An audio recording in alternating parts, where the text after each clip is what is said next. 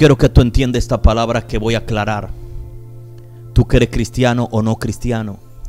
Quiero decirte, en Hechos 3, capítulo 1, registra la historia que un hombre cojo lo ponían siempre en la puerta de la iglesia llamada la Hermosa, el templo.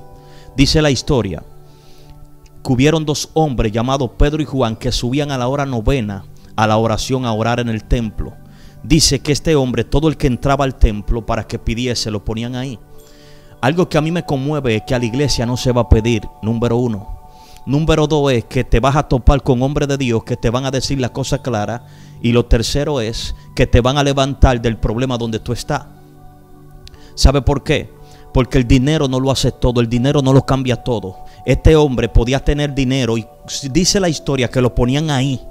Algo que a mí me impresiona es quedó hombre al ver que solo procuraba pedir, o sea, buscar beneficios humanos con una pierna. Quiero decirte que se acercaron dos hombres llenos del Espíritu Santo, llenos del poder de Dios. Y dice la palabra que este hombre se ascendió a mirarlo. Y Pedro le dijo de esta manera, míranos fijamente quiero decirte algo, yo no tengo plata ni oro, pero de lo que tengo te doy. En el poderoso nombre de Jesús, levántate. Dice que lo ayudaron a levantarse. Cuando lo ayudan a levantarse, lo llevan al templo y se cambió la historia de la oración. ¿Por qué se cambió la historia de la oración? Porque en ese momento solo estaban orando, pero no estaban manifestando. Aleluya. A veces tú oras mucho y manifiesta poco. Quieres recibir mucho, pero teniendo no quiere dar. Aleluya. Solo te está inflando como la vejiga. Solo está leyendo mucho y no está dando mucha palabra. Solo está alimentándote tú y multitudes perdiéndose. Solo te la pasa de rodillas mientras tu familia se está hundiendo en quebranto por falta de las oraciones que tú la manifiestes en vivo. Oh, gloria a Dios. Dice la palabra que Dios habita en el secreto, conoce los secretos, pero se manifiesta en público. Oh, gloria a Dios.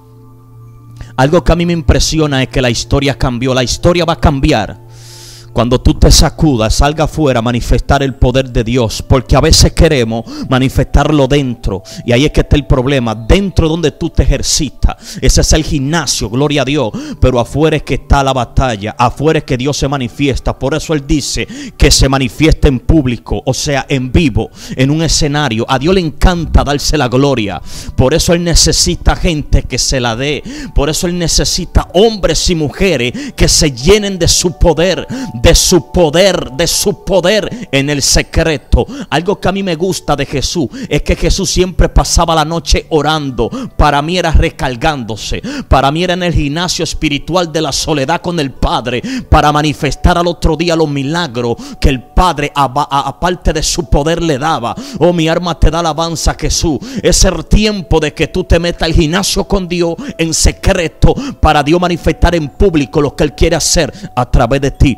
Escúchame bien, este es el tiempo. No es el tiempo de tú encerrarte en cuatro paredes a pensar, oh gloria a Dios. No es el tiempo de que tú comiences a encerrar tu cabecita en una jaula, gloria a Dios. Es tiempo de que tú comiences a manifestar lo de Dios fuera. Hay personas que Dios los quiere usar, pero aprenda esto muy claro, que yo lo he aprendido. De la única forma que Dios te va a usar es tú predicando fuera. Hay gente que está loquito que lo pongan en un púlpito. Pero déjame decirte, en un púlpito no hay nada. No hay nada que alimentar las ovejas que están alimentadas. Donde tú tienes que buscar esas ovejas que están descarriadas, apartadas, que no tienen pastor. Por eso me encanta el evangelismo, aunque tenga el llamado de pastor, porque me encantan las ovejitas perdidas, amansarlas, traerlas a redir, educarla y llevarla a los pies de Cristo como Cristo quiere, para que pueda haber fiestas en los cielos. ¿Qué te quiero decir con esto? Escúchame bien, a Cristo le complace más levantar a alguien, sanar a alguien que sí lo necesita. Dice la palabra que la 99 está segura, pero la descarriada está preocupada por alguien que la recoja. Oh, mi alma te adora Jesús. Este es el tiempo de que usted avive el llamado que está, que está en ti y no lo duerma. Mm. Tú quieres que el Señor te use. Tú quieres ver gloria. Tú quieres ver manifestación. Sal afuera. No te me encierres en la iglesia y verás lo que Dios hará contigo. Amén. Así que bendiciones. Pon esto en práctica y verás lo que Dios hará contigo sobrenaturalmente.